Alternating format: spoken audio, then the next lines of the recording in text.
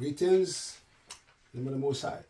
Uh, today, um, we, we did say we're going to do a, a, very short video on arthritis, osteo, and rheumatoid because they're both inflammatory disorders or diseases they call it in the medical system. And I'm going to make a juice that that will help lots of people, old as well as young, who is suffering from osteo. Rheumatoid is totally different because it's an autoimmune disease so although we can use these uh, fruits and some vegetables, it is imperative that you go to the apothecaries to balance back the immune system so that you can repair your rheumatoid arthritis, which is more detrimental than osteo, right? So we're going to make this juice for osteo and rheumatoid. But if you do have rheumatoid arthritis, then you have to get mushrooms and you have to get some of the plants like licorice and ashwagandha and schisandra berries and chaga to balance back the immune system because they act as amphoterics, yeah? So we're going to give that, all these here uh, they work as anti-inflammatories. So we're going to get some cantaloupe, you have some pineapple, and I want to mention too also that this part of the pineapple right here have more of the bromelain that helps to digest protein also, but it's very good for inf inflammation. So you could even make this as a tea and mix it with some turmeric, you know, and some um, arnica, uh, cat's claw, yucca, and um, they'll help with all with, with inflammation also. Okay, so not only the pineapple itself, but also the leaf. Yeah, wonderful. And then we have a green apple for neutralization because the green apple will help to uh, cause the pH to stay at 7.0, 7.45 or even 7.8. The higher, the higher you push the pH up is much better. All right, then you have the turmeric, which have curcumin, which is very significant for not only osteo, but also rheumatoid because it is anti-inflammatory. But turmeric also helps to balance back the immune system when it is overactive. So if you have lupus, scleroderma, muscular dystrophy, myasthenia gravis, and even RA, rheumatoid arthritis, you can also use turmeric in a tea to help to balance back the immune system with some ginger, okay? And also mushrooms. And then we have again pineapple, green, cantaloupe, and also we could put a little onion if you like. Yeah.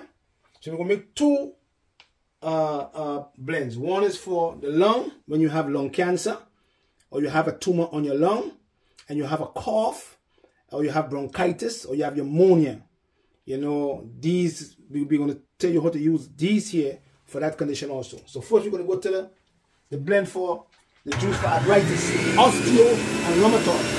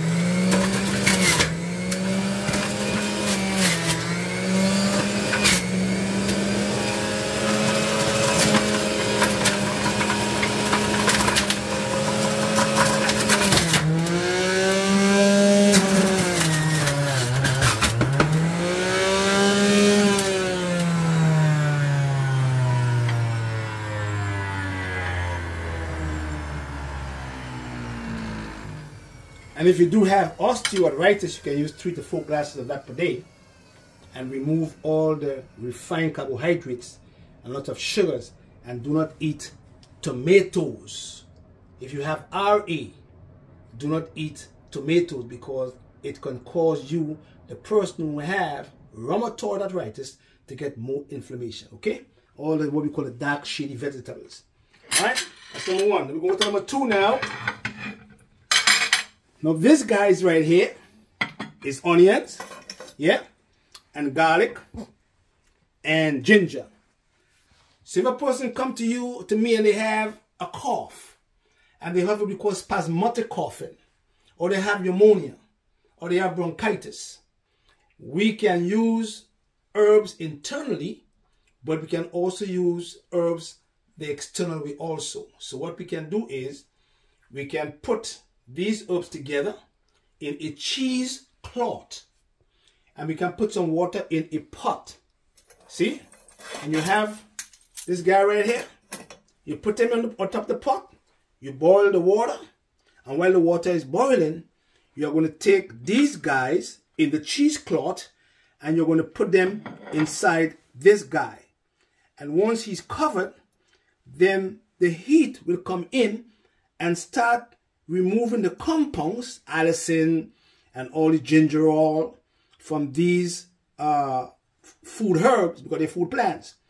And once the, it gets hot enough, you can take that, that cheesecloth and you can put these in the cheesecloth after removing it from the water when it's hot and just fold that cloth up with all these food plants in there that have anti-inflammatory anti-inflammatory uh, uh, uh, activity and you can drop it on the patient's chest the lungs is at and you can cover it with a towel yeah?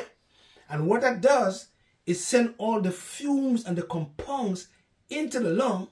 So if the lung is congested or you have what we call a damp condition of the lung, you can also use the ginger as a tea with orange peel, the yellow orange peel, and that will help the condition of the lung that is damp and also cold because this is what we call a diaphoretic plant. But externally, you can put it in a cheesecloth, hot it up, and then put it in the, the uh, tie the cloth up, put it on the chest, and then you put a towel over there, and it, all the all the fumes go in. And if there is a tumor on your chest, or there's a tumor in the right or the left lobe of the lung, these food plants will do the job for you and keep the cancer away or remove the tumor from your lung, remove ammonia, and remove also bronchitis.